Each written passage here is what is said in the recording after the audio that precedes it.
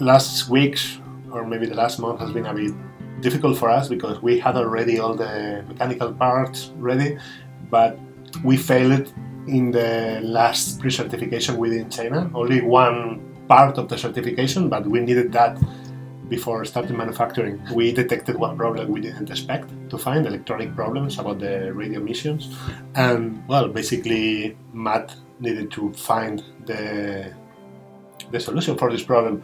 And we were all like wishing to start manufacturing as soon as possible. So it was like a big pressure for Matt. He was he's been working really hard and asking a lot of people, consultants, uh, certification experts, because we didn't take into consideration a lot of technical things during the PCB design because we didn't know it was necessary.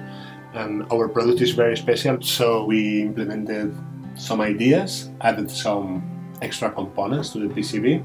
When we did the pre-certification here in Valencia uh, two days ago, it was successful. So it's been like a big relief. Surely we will have to modify small things and adapt the right side because the modifications only on the left, but it should be the same.